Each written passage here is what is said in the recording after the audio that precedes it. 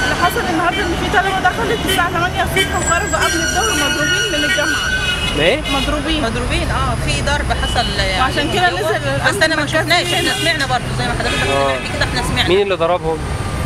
جوه هنا في الجامعة آه، عشان اعتراض على عشان ما على الاعتراض على تسجيل الرغبات إن هم في ناس جايبة حاجة و50 وجاي لها حقوق القاهرة وفي ناس جايبة أعلى من 60 ومش جاي لها اي حاجة من امبارح إحنا دايسين على النت علشان أعرف ال- النتيجة بتاعت بنتي. ما فيش أي نتيجة ظهرت ليها جيت هنا قالوا لي لا روحي المكتب اللي هي بتاعت الحقوق هنا رحت هو قال لي لا روحي التنسيق هناك. رحت هناك مش ظاهر لي برضه أي حاجة. قالوا اعاده استنفاذ رغبات تاني.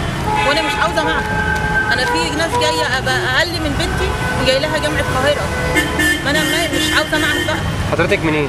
أنا هنا من فيصل. وكان في امن مركزي هنا كان واقف هنا بيشوا يعني إحنا قبل ما رحنا هناك عند التنسيق وجينا لقيناهم مشوا الناس مشوا